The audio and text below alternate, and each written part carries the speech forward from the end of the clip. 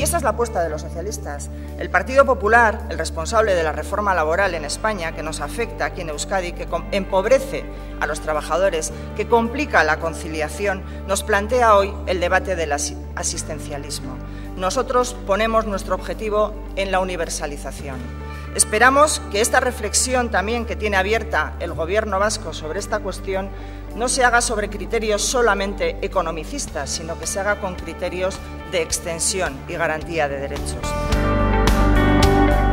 Y para ello, los socialistas también tenemos una propuesta aquí en Euskadi, que es la creación de un fondo de cohesión social, un fondo que el Endacari firmó con el Partido Socialista.